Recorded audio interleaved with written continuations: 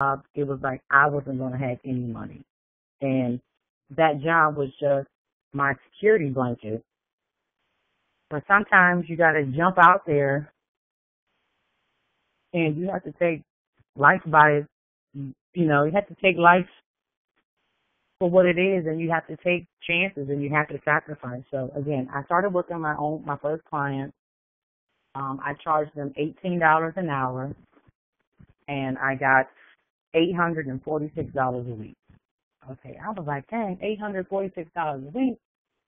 I was like, I like that. You know, we have money. You know, we can pay bills and we can pay bills and we can pay bills, but we couldn't pay nothing else.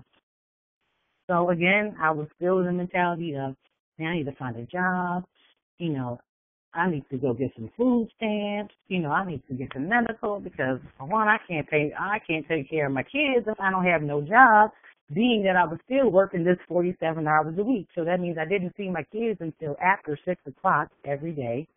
So by the time I came home from work, I was tired. My kids were cranky. You know, my husband needed attention. You know, still had to cook food. And by then I was tired. I wanted to go to bed. So then I tried it out. I said, I'm going to hire me a girl. And I'm going to let her work this shift. And I'm going to see how it works out. Well, I hired a girl and, you know, it kind of went good. And, you know, she would go to work every day and I'd pay her, you know, her little hourly wage. And I thought I was doing something. So I told my husband, I was like, I think it's time to start our own business. He was like, well, go for it. Well, I was, again, I was still like, oh, I need to, I need to get a job going on the side because, you know, what if the client passes away or, you know, what if I lose the client? I kept thinking the negative. And you know what they say, the, the law of attraction, whatever you put out in the universe, it comes back to you. So I had to keep telling myself, um, you don't need no job. You don't need no job my husband kept saying, "Don't be a slave to the employment. Don't be a slave to employment." Um, so again, we started marketing, and the second client came in. But the second client came in um, to the first client. They they referred me to the to the client. So I you know I got the other client, and then that client referred me to someone else. And then I didn't have enough girls to work, so I'm working double, and I'm working this girl overtime. It was two girls working three shifts. And then I was like, we got to do this. So then I got my LLC. Um, for those who don't know, yes, you do have to have an LLC in order to call yourself a business. You just can't say, oh, I have a business without having a business license.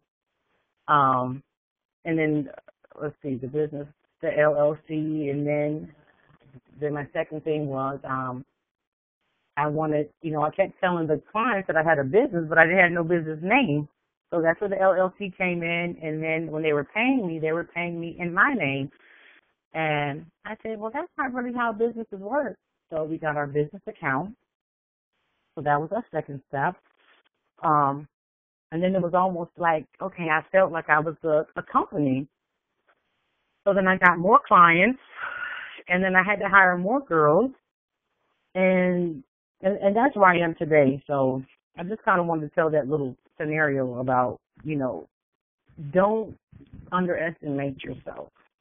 Um, I think I've spoken with a couple of the ladies and they always ask questions about, you know, how do I get started? Um, I think one of the young ladies, actually, she's on the call, um, was saying she had meetings with the, the mayor and a lawyer and all those things. You do not need that stuff to start a business. Okay? Just depending on the state that you live in, some states don't even require that you have a license to have a home health agency. Okay? So make sure that you are checking your state laws. That is very important. Um, because the other home health agencies are not going to tell you this information because they don't want the competition. So make sure for one you have your LLC, that you are getting your business license, that you are checking your laws, that you are checking your laws um, for your state. Again, some states do not require, I know Ohio does not require you to have a license to run a home health agency. Um, And all this information that I'm giving you is in the business in the box. The business in the in the box is, um, and some of you ladies already have this.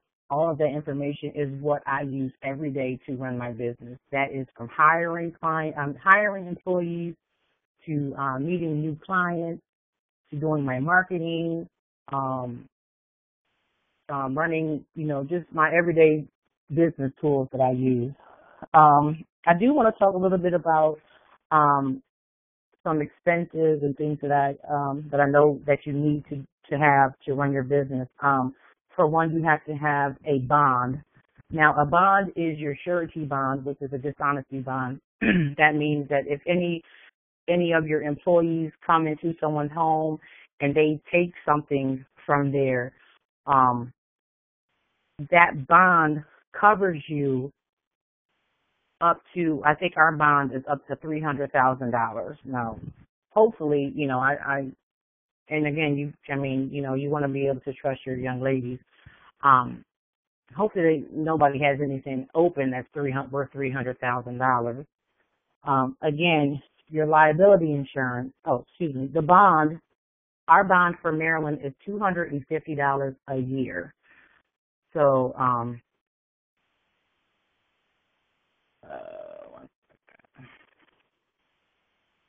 the bond is $250 a year. So people think all this stuff costs a lot of money. It really doesn't. And then you have to have your liability insurance. Um, the, the liability insurance that we have um, is $2,202 a year.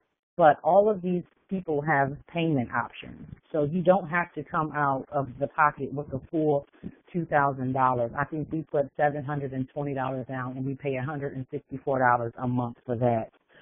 Also, um, your workers' compensation, that is um, $1,176 that we pay, and there we I think we had to put um you could either do half down and then pay one more payment or you can do um they have additional options as well.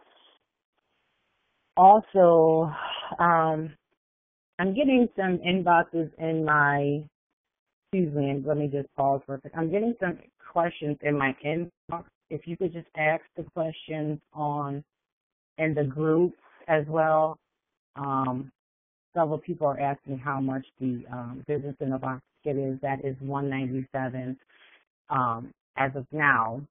It is $197. Okay. Also, um, we do use. Um, I mean, I have several. I have about. I have about 23 clients that I have now. Um, I kind of charge my clients based on the client's needs. Now, just like if you was working in an agency, the people would um kind of pay you per case.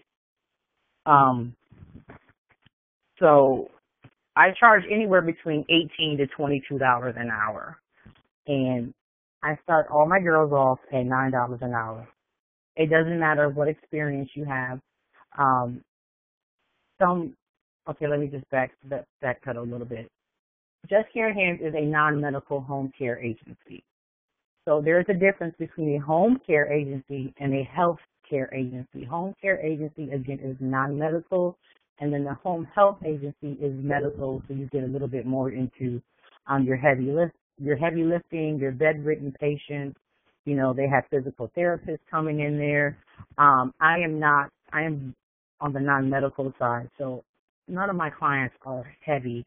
None of my clients are hard. Most of my clients are companion care, light housekeeping, medication reminders, just your basic companion care um, clients. Now, I do have some clients that, you know, need to get transferred. And again, those are the clients that I would charge $22 an hour.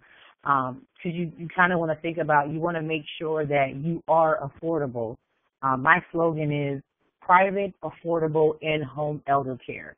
When people when people see that private, it kind of separates you from, um, and I'll just say um, Bright Star, for example. It kind of just separates you from the big companies to um, to the little companies. Because for one, the big companies are not private, and they have a set rate that they cannot go underneath If they do, they will not make any money off their company.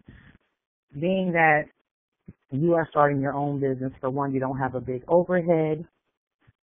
So that means I do I do pretty much everything. I do the scheduling, I do payroll, I visit all the clients, I do I pretty much do everything because I